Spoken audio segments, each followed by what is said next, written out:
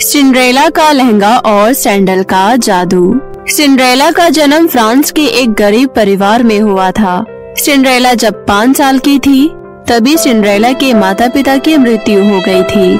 अब सिंड्रेला अपनी चाची सूफी और चचेरी बहन चारू के साथ रहती है। जो सिंड्रेला को बिल्कुल प्यार नहीं करती थी। सिंड्रेला की चाची सूफी और चारू दोनों सिंड्रेला पर खूब अत्याचार करते हैं। उनसे घर का सारा काम करवाते। सिंड्रेला उनके घर में सिर्फ़ एक नौकरानी बनकर रहती थी।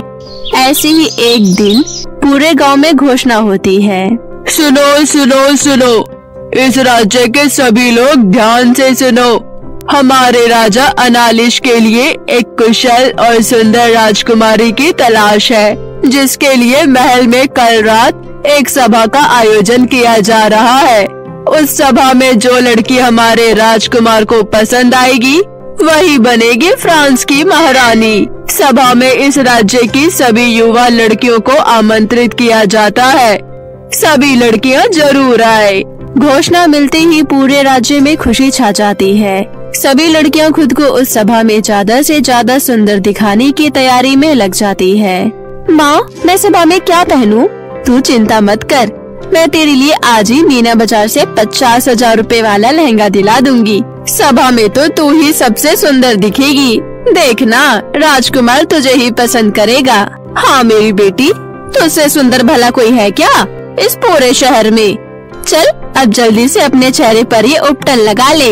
जिससे ये चाँद सा चेहरा और निखर जाए, मैं तेरे लिए लहंगा लेकर आती हूँ। तभी सिंड्रेला भी उनकी बात सुन लेती है। चाची, बाज़ार जा रहे हो? तो मेरे लिए भी कोई सस्ती सी फ्रॉक ले लीजिएगा। मेरे सारे कपड़े फट गए हैं। मैं सभा में क्या पहन कर जाऊँगी? ये सुनकर चारों ज़ोर ज़ोर से हंसने लगती है। अरे बेवकूफ़, राजकुमार को अपने लिए राजकुमारी चाहिए। नौकरानी नहीं, समझी? बढ़िया सभा में जाने वाली। तेरा वहाँ कोई काम नहीं है। राजकुमार तो तुझ जैसी को अपने काम वाली भी न रखे। हाँ। पर सभा में तो सभी युवा लड़कियों को बुलाया गया है ना? अरे करम चली जन्म लेते ही तो सबको खा गई। अब क्या सभा में जाकर राजकुमार की ज़िंदगी खराब करनी है? तो जैसे मनुष्य के परछाई से भी लोगों को दूर रहनी चाहिए। तूने आज के बाद इस घर के बाहर कदम भी रखे तो मुझसे बुरा कोई नहीं होगा, समझी?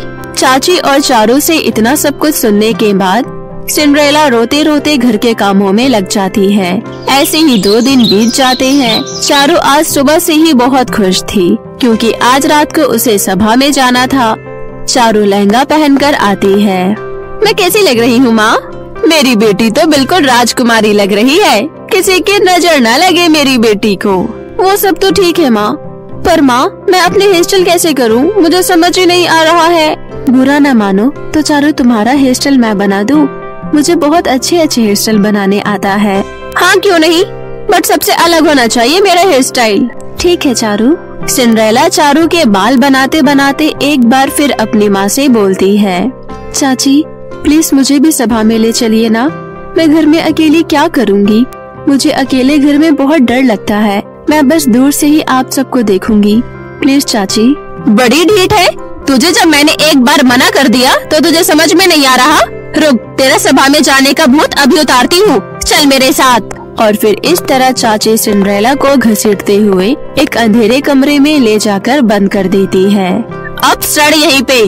चल बेटी, सभा के लिए देर हो रही है। फिर दोनों माँ बेटी सभा के लिए निकल जाती है और इधर सिंड्रेला अकेले कमरे में अपने माँ बाबा को याद कर खूब रोती है। माँ, मुझे अंधेरे से बहुत डर लगता है माँ। माँ, पिताजी, आप मुझे इतनी जल्दी छोड़कर क्यों चले गए? क्या मैं आप लोगों को पसंद नहीं थी? क्या मैं इतनी बुरी हूँ? मुझसे कोई प्यार नहीं करता। चाची तो ऐसा करती है, जैसे मैं उनकी बहुत बड़ी दुश्मन हूँ। आखिर क्यों माँ? क्यों मेरे साथ इतना बुरा हो रहा है? मेरी क्या गलती है आखिर? तभी वहाँ पर एक तेज प्रकाश होता है और एक बहुत ही सुंदर परी वहाँ आती है। उठो सिंड्रेला, रो नहीं, मुझे तुम्हारी माँ ने एक संदेशा देकर मुझे यहाँ भेजा है। तुम इस दुनिया की सबसे खुश नसीब लड़की हो और तुम्हारी ज़िंदगी में बहुत सारी खुशियाँ आने वाली है। मेरे साथ आओ। और फिर इस तरह परी सिंड्रेला को अपने साथ बाहर लेकर आती है और अपने जादुई सितारा छड़ी से सिंड्रेला के ऊपर कुछ जादू करती है।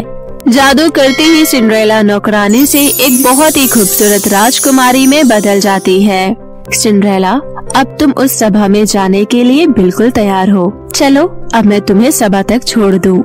अब तुम सभा में जाओ। तुम्हारे साथ सब अच्छा होगा। लेकिन याद रहे, बारह बजे से पहले तुम वापस आ जाना, वरना तुम फिर से पहले जैसी हो जाओगी।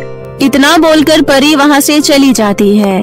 और सिंड्रेला सभा के अंदर जाती है। सिंड्रेला जैसे ही महल में पहुँचती है, सबकी नज़र सिंड्रेला की तरफ़ ही होती है। अरे इतनी सुंदर लड़की कौन है? कहाँ से आई है? हमारे यहाँ की तो नहीं लगती, पर बहुत ही प्यारी है। चारों भी सिंड्रेला को देखकर उसे नहीं पहचान पाती है। चारों सिंड्रेला के आगे जाकर खड़ी हो जाती है। कुछ ही देर में राजकुमार अनालिश आते हैं। अनालिश के आते ही उसकी नज़र सबसे पहले सिंड्रेला पर जाती है, और उससे हटती ही नहीं है। राजकुमार को सिंड्रेला एक ही नज़र में इतनी पसंद आती है कि वो उसे ही अपनी राजकुमारी के रूप में पसंद कर लेते हैं। राजकुमार सिंड्रेला की तरफ़ बढ़ ही रहे थे, लेकिन चारों को लगता है कि राजकुमार उसके तरफ़ आ रहे हैं। देखो माँ, राजकुमार को मैं ही पसंद आई हूँ, वो मेरी तरफ़ ही आ रही है। तभी राजकुमार सिंड्रेला से कहते हैं, प्रिय, क्या आप मेरे साथ डांस करोगी? सिंड्रेला खुशी से हाँ कर देती है और राजकुमार के साथ डांस करने लगती है। काफ़ी देर डांस करने के बाद सिंड्रेला की नज़र घड़ी के कांटों पर जाती है। भगवान, बारह बजने वाली है। मुझे जल्दी यहाँ से निकलना होगा। और फिर सिंड्रेला राजकुमार का हाथ छुड़ाकर वहाँ से चली जाती है। अरे सुनिए तो हेलो, ये आपकी सैंडल तो लेते जाइए। लेकिन सिंड्रेला मुड़कर नहीं देखती और भागते हुए अपने घर की तरफ़ चली जाती है। इधर राजकुमार सिंड्रेला को हर तरफ़ ढूंढते हैं, लेकिन वो उसे कहीं नहीं मिलती। बस मिलती है तो उसकी एक सैंडल, जो भागते वक्त वहाँ छूट गई थी। राजकुमार सभा में उपस्थित सभी लड़कियों को वो सैंडल ट्राई करवाते हैं, पर वो किसी के पैरों में फिट नहीं आता। अगले दिन राजकुमार सिंड्रेला के यादों में ही खोया हुआ था। वो उसे भूल ही नहीं पा रहे थे। बार बार उसके दिमाग में सिंड्रेला ही आ रही थी। मंत्री मुझे किसी भी हाल में इस सैंडल वाली लड़की चाहिए। मैं शादी करूँगा तो सिर्फ़ इसी सैंडल वाली लड़की से।